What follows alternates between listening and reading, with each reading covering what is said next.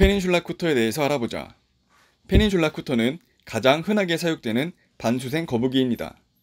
다양한 종류의 반수생 거북이 있고 가장 흔한 거북으로 리버 쿠터와 페닌슐라 쿠터가 있었지만 레드벨리 쿠터와 리버 쿠터가 생태계 교란종으로 지정이 된 후로 페닌슐라 쿠터가 가장 많이 분양됩니다.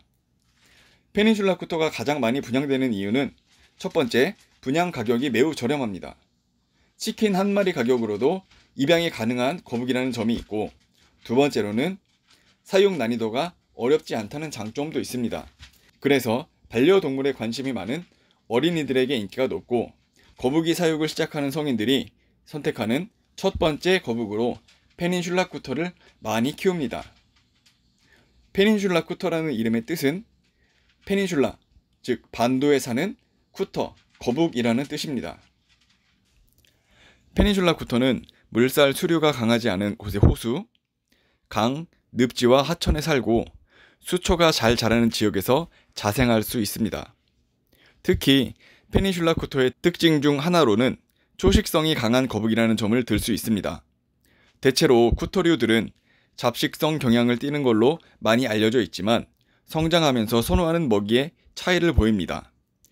해칠링이라고 불리우는 어린 유체일 때에는 수초, 어패류, 물고기, 죽은 물고기, 동물의 사체, 곤충 등등을 가리지 않고 먹는 잡식 성향이 강하지만 성체가 되어가면서 초식성이 강해집니다.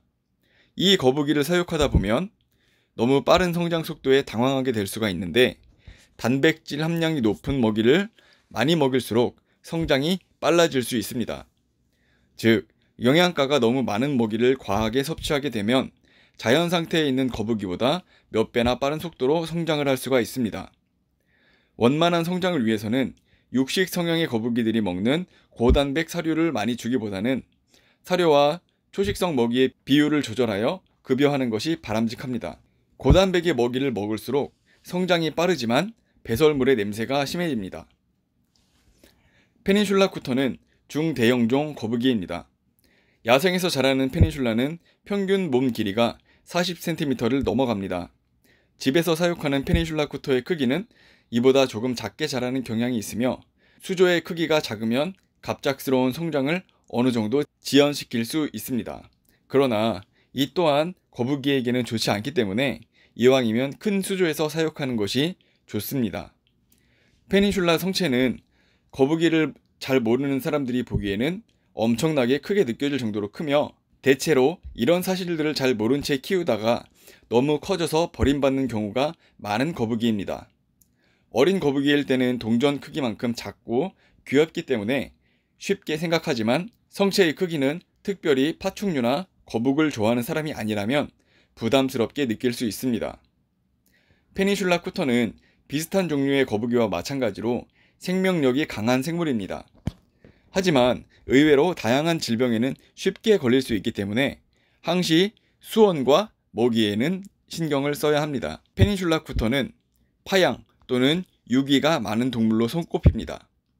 그 이유로는 생각보다 크게 자란다는 문제점이 있고 강아지나 고양이들처럼 재미있고 사람과 교감을 하는 반려동물이 아니기 때문에 그리고 또 냄새 때문에 어항 관리의 번거로움 때문에 유기되는 경우가 대부분이며 워낙 저렴한 가격에 흔하게 판매되고 유통되는 반려동물이다 보니 사람들의 인식 속에서 함부로 다뤄도 되는 동물로 자리 잡았기 때문입니다. 최근에는 많이 줄어들었지만 과거에는 여러 종교단체에서 방생이라는 명목으로 쿠터류들을 강이나 호수에 풀어주는 행사도 많이 있었습니다. 이러한 다양한 이유로 쉽게 유기되며 서울의 한강에서도 심심치 않게 발견되는 거북이입니다.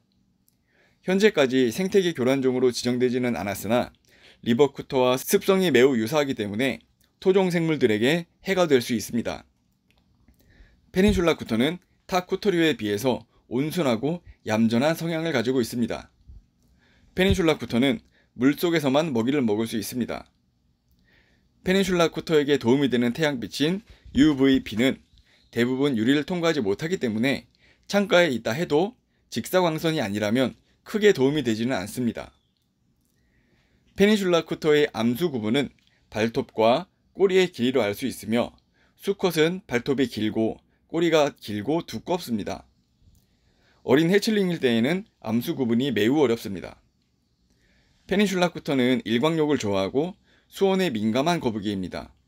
일광욕을 많이 하지 못하고 수온이 낮으면 눈병과 백전병에 잘 걸립니다. 이때에는 먹이 활동이 줄어들고 활동량이 확연하게 줄어듭니다. 페닌슐라 쿠터는 전반적으로 밝은 연두색, 노란 빛의 색상을 가지고 있으며 배갑에는 무늬가 없다는 것이 특징입니다. 성체가 되어갈수록 섬유질의 먹이를 사료와 함께 주면 좋습니다. 집에서 반찬할 때 다듬고 남은 야채류들을 그냥 생으로 주면 곧잘 받아 먹습니다. 자주 챙겨 먹이면 거북이 건강에 도움을 줍니다. 페닌슐라 쿠터 수조의 구성에서 가장 중요한 것은 물을 데워주는 장치인 히터기입니다. 그 다음으로는 여과기, UV 램프, 육지의 쉼터가 필수 요소입니다. 수조 관리 여부에 따라 측면 여과기 설치도 가능하지만 물살이 세면 어린 거북에게 힘든 환경이 될 수가 있고 정화력이 떨어지기 때문에 거북이 사육에는 일반적으로 외부 여과기 사용이 추천됩니다. 페닌슐라 쿠터가 먹을 수 있는 채소들로는 당근, 오이, 호박, 상추, 시금치 등의 흔한 채소류가 있고 참외 껍질, 감 껍질 등 맛이 강하지 않은 과일 껍질도 괜찮습니다. 대부분의 식물을 먹어도 괜찮지만 한 번에 먹을 수 있을 만큼 소량만 급여하는 것이 좋습니다. 먹을 것을 아무리 좋아하는 쿠토류라 해도 스스로에게 맞지 않는 먹잇감은 먹지 않습니다. 가장 흔한 질병은 눈병이 있습니다. 눈병 대처 방법으로는 약국에서 파는 안약을 넣어주고 물 밖에 20여 분 동안 둡니다. 그 후 물을 깨끗이 환수해 준 후 수온을 28도 정도로 유지를 해 줍니다. 이 과정을 며칠 동안 반복하면 대부분의 경우 좋아집니다. 거북이 등갑은 굳이 칫솔 등으로 닦아줄 필요는 없습니다. 다만 키우는 사람이 그렇게 하고 싶다면 그렇게 해도 상관은 없습니다. 물 밖으로 꺼내 손으로 계속 만지는 핸들링은 거북이에게 많은 스트레스를 줍니다. 물 밖으로 꺼내고 싶다면 혼자 돌아다니게 두고 관찰하는 것이 좋으며 이왕이면 물 밖으로 꺼내지 않고 스스로 수조의 육지에서 쉬도록 하는 것이 좋습니다. 먹이는 반드시 하루에 한두 번 줘야 하는 것은 아닙니다. 성장 속도에 따라 사료의 성분이나 건강 상태에 따라 매일 주거나 또는 일주일에 두 번에서 세 번 정도 주거나 조절할 수 있습니다. 어떤 사료도 거북이의 건강을 완벽하게 만족시켜주는 사료는 없습니다. 따라서 반드시 섬유질이 포함된 먹이를 일부러 챙겨주는 것이 중요합니다. 밀웜, 곤충 등도 매우 잘 먹는 거북이이기 때문에 가끔은 이런 생먹이류도 먹이는 것을 추천합니다. 지금까지 페닌슐라 쿠토에 대해서 간단하게 알아봤습니다. 더 궁금하신 내용이 있다면 댓글로 남겨주세요.